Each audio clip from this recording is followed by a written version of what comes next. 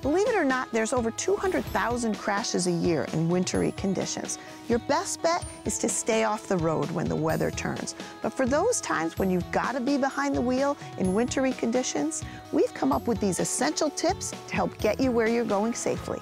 It's best to start prepping your car before a winter storm hits. Check the treads on all your tires.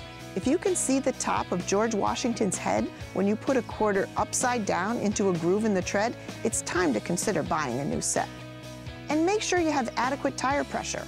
Cold weather can decrease the pounds per square inch in a tire, which can affect your car's handling and how they wear. And you can't beat the added security that winter tires provide. So try not to wait until the flakes are already flying before you put them on. Also check your vehicle's battery Cold weather can affect battery performance, so make sure the contacts are tight and free of corrosion.